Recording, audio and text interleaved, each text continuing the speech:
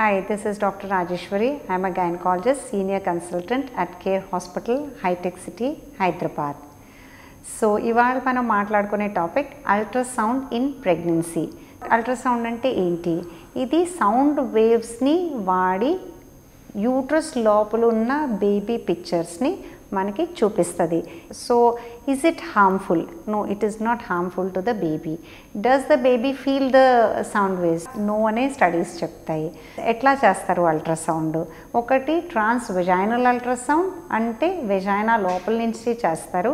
ఇంకోటి ట్రాన్స్ abdominal ultrasound అంటే పొట్ట పైన నుంచి చేసే ultrasound early pregnancy up to six to seven weeks మనం అల్ట్రాసౌండ్ ట్రాన్స్ ప్రిఫర్ చేస్తాము. దీనివల్ల మనకి విజిబిలిటీ బాగుంటుంది. Correctness of the report is very high so first scan ఎప్పుడు కూడా మనం సిక్స్ టు సెవెన్ వీక్స్ మధ్యలో చెప్తాము. So six to seven weeks మధ్యలో చేసే అల్ట్రాసౌండ్లో number of babies position of the baby and heartbeat ఈ మూడు మనకు తెలుస్తాయి. So this is the first we advise at twelve weeks. Twelve వీక్స్కి మనం ఎన్టీ స్కాన్ అంటాం. ఎన్టీ స్కాన్ ఎందుకంటే పుట్టకతో వచ్చే కొన్ని తేడాలకి ఇది ఎర్లియస్ట్ స్కాన్ అనమాట సో న్యూరల్ ట్యూబ్ డిఫెక్ట్స్ ఇందులో కనపడుతుంది. Third scan is at eighteen to twenty two weeks మధ్యలో టీఫా స్కాన్ అని చేస్తాం which is also called anomaly scan so ఈ మూడు అయితే almost all hundred percent of the ప్రెగ్నెన్సీకి ఈ మూడు చెప్తాం. ఇంకా ఎక్స్ట్రా స్కాన్ ఎప్పుడు చేస్తాం? స్కాన్ చేసిన తర్వాత స్పాటింగ్ చెప్తారు లేదంటే చాలా సీవియర్ ఎబ్డామిన్ చెప్తారు లేకపోతే బ్లీడింగ్ చెప్తారు.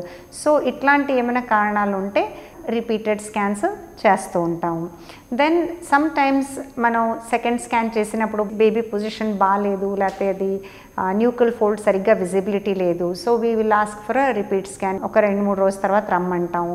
సో ఈ రిపీట్ స్కాన్ వల్ల ఏదైనా హార్మ్ ఉంటుందా అని చాలాసారి అడుగుతాం. So definitely there is no harm at all eighteen వీక్స్లో కూడా టీఫా స్కాన్ చేసినప్పుడు we are seeing every detail of the baby అంటే ఒక హ్యాండ్స్ అంటూ తీసుకుంటే సో ఈ five fingers these five fingers ఒకటే చూడడం కాకుండా ప్రపోర్షన్ అంటే ఈ అప్పర్ ఆర్మ్కి లోవర్ ఆర్మ్కి ఎంత ప్రపోర్షన్ ఉంది? అంటే మనకు ఒక ఆర్మ్ అంటూ ఉంటే దానికి అప్పర్ ఆర్మ్ ఇంతే ఉండాలి లోవర్ ఆర్మ్ ఇంతే ఉండాలి హ్యాండ్ ఇంతే ఉండాలి అనే ప్రపోర్షన్స్ ఉంటాయి.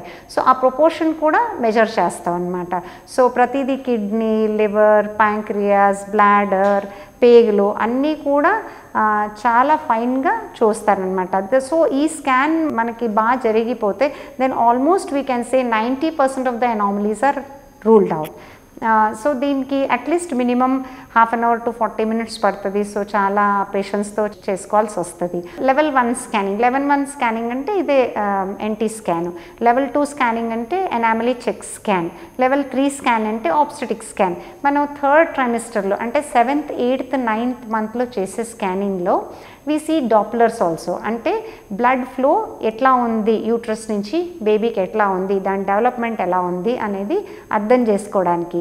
డయాబెటీస్ కానీ హైపర్ టెన్షన్ కానీ లేకపోతే వేరే ఏమైనా కోమార్బిడిటీస్ ఉంటే కనుక డెఫినెట్గా నంబర్ ఆఫ్ స్కాన్స్ ఎక్కువ చేస్తాం. ఎందుకంటే we try to see the growth interval అంటే ఇప్పుడు సపోజ్ మనం ట్వంటీ ఎయిట్ వీక్స్ చేసి మళ్ళీ థర్టీ టూ వీక్స్కి చేస్తే కరెక్ట్గా బేబీ కూడా ఫోర్ వీక్స్ గ్రో అయిందా లేదా అని చూసుకుంటాం. అలాగే ఉమ్ము నీళ్ళు తక్కువ తక్కువ ఉంది. సో దానికి మేము మెడికేషన్ ఇస్తాం. సో మళ్ళీ మూడు వారాల తర్వాత స్కాన్ చేసుకుని నెక్స్ట్ ఏం ట్రీట్మెంట్ చేసుకోవాలి అనేది ప్లాన్ చేస్తాం. ఫస్ట్ త్రీ మంత్స్లో చేసిన స్కాన్లో only plus or minus five డేసే వేరియేషన్ ఉంటుంది. జనరల్గా ఫస్ట్ త్రీ మంత్స్లో చేసిన scan it will exactly correlate to the last menstrual period so ఒక్కొక్కసారి ఏమవుతుంది? మన పీరియడ్స్ డేట్ వేరే ఉంటుంది మన స్కాన్లో చూపించే లెక్క వేరే ఉంటుంది. సో ఈ రెండు తేడా ఉన్నప్పుడు మనం ఎట్లా కొరిలేట్ చేసుకుంటాం? అప్పుడు ఏం చేస్తామంటే రెండు స్కాన్ తీసుకుంటాం. సపోజ్ ఇప్పుడు మనం టెన్ వీక్స్కి ఒక స్కాన్ తీసుకున్నాం. మళ్ళీ ఫోర్టీన్ వీక్స్కి ఒక స్కాన్ తీసుకుంటాం. మళ్ళీ ఎయిటీన్ వీక్స్కి. సో ఆ టూ స్కాన్స్ మధ్యలో కరెక్ట్గా డేట్స్ అంటే ఫోర్ వీక్స్ గ్రోతే ఉంటే దెన్ లాస్ట్ మెన్స్ట్రల్ పీరియడ్ డేట్ని పక్కన పెట్టేసి అప్పుడు స్కాన్ డేట్ని మనం ఫైనలైజ్ చేసుకుంటాం. కానీ plus or minus five days in first trimester second ట్రైమిస్టర్లో plus or minus ten days అలాగే లాస్ట్ త్రీ మంత్స్లో plus or minus fifteen days ఇది యాక్సెప్టబుల్ అప్పుడు మనం డేట్ ప్రకారంగా ఏదైతే డెలివరీ డేట్ అనుకుంటామో అదే కరెక్ట్ సో చిన్న చిన్న plus minus is acceptable but కన్సిస్టెంట్గా డిఫరెన్స్ ఉంటే కనుక రాంగ్ డేట్స్ అనుకుంటే కనుక ఈ మనం డెలివరీ డేట్ని స్కానింగ్ ప్రకారంగా అసైన్ చేసుకుంటాం.